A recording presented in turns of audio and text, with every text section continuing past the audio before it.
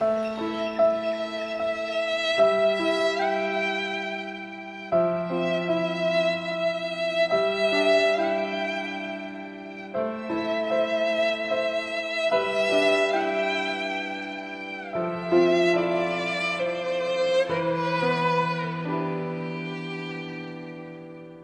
යශෝදා ජයරත්න මට අවුරුදු 20ක් යනවා.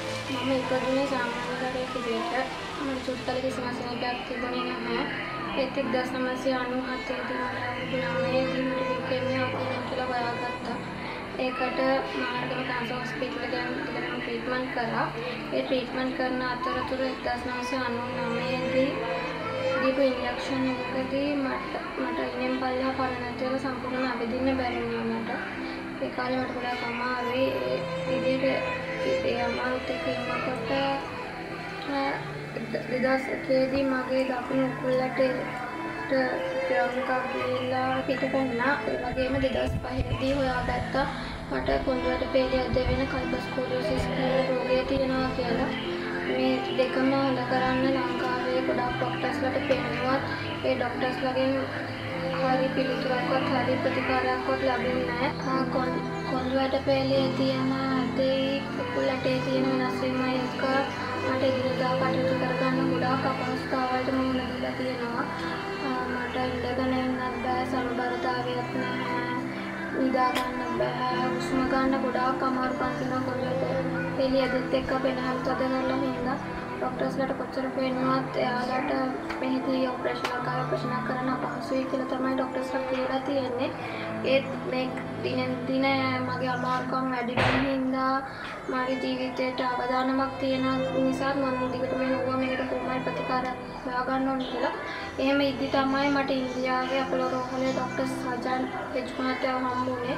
එයා ලංකාවට ආපු වෙලාවක එයාට පෙන්නපුවාම එයා මගේ ඔක්කොම රිපෝට්ස් බලලා කිව්වා කොල්ලට පේලිය කෙලින් කරලා පොයට නැවත යත තත්ත්වයට පත් කරලා මට හොඳ ජීවිතයක් ලබා දෙන්න යාට පුළුවන් කියලා සත්‍යම් දෙකක් කරලා ඒ සටම් දෙක කරාම මට තියෙන මේ දැන් තියෙන ඔක්කොම අපහසුතාවම ගෑරලා විචාරකයේ ඉඳගෙන උනත් මගේ වැඩ කටයුතු තනියම කරගෙන ජීවිතේට කිසිම හානියක් නැතුව හොඳින් ඉන්න පුළුවන් කියන එක යා කිව්වා ඒ ඒ සත්කම් දෙකට ලංකාවේ මුදලින් ලක්ෂ 45කට ආසන්න මුදලක් වැය වෙන බවත් එයා කිව්වා.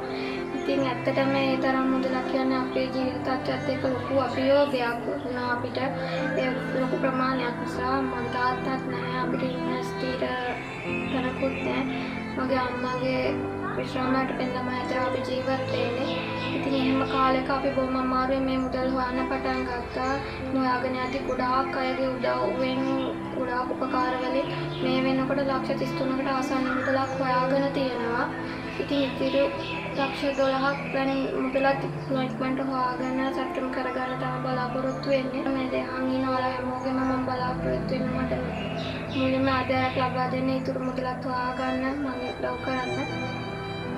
ඒ වගේම අද මං වෙනුවෙන් මේ මෙම්බර් වලට ඇවිල්ලා ඉන්න ඔයාලා හැමෝටම ගොඩාක් ස්තුතියි. ඔයාලා පුළුවන් අයට මගේ හෙට දවසේ වෙනුවෙන් ඔයාලට පුළුවන් උපකාරයක් කරන්න. ඔයාලට ගොඩාක් පිංසිතියි. උපකාරයට බොහොම ස්තුතියි. ඒ වගේම මේ අවස්ථාවේදී අපිට ඉතාමත්ම අවශ්‍ය වෙලා තියෙන්නේ මුගේ ජීවිතේ බේරගන්නයි. ඒකට අවශ්‍ය වන්නේ මේ මුදල් ප්‍රමාණයක් සොයාගන්න එක. ඒ නිසා නැවතත් මම ඉල්ලා සිටිනවා ඔබට පුළුවන් හැකි ආකාරයෙන් උදව් කරලා මගේ දියණියගේ සැත්කම සාර්ථක කරගන්න උදව් කරන්න කියලා ඒ හැමතෙම මේ අවස්ථාවේදී මෙතනට ඔබ සියලු දෙනාටම ඒ වෙනුවෙන් මම ස්තුති කරනවා.